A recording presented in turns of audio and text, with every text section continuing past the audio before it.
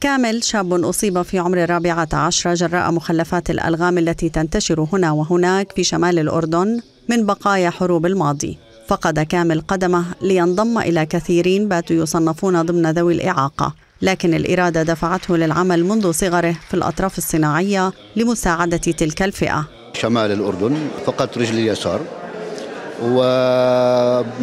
ولاحقا ما شفت حالي غير مكرس حياتي لخدمة هذا الموضوع البتر وضحايا الألغام وتخصصت بالأطراف الاصطناعية بالثمانينات.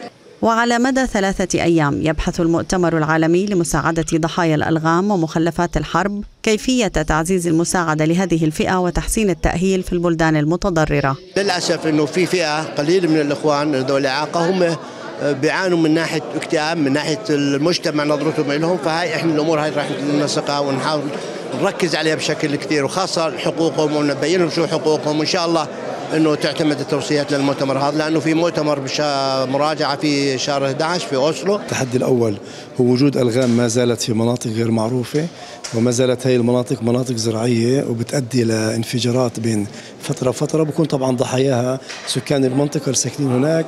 والسبب الأخطر وسبب آخر أخطر وهو انتشار الألغام أو الكنابل الغير قابل للانفجار أو التي لم تنفجر نتيجة الحروب.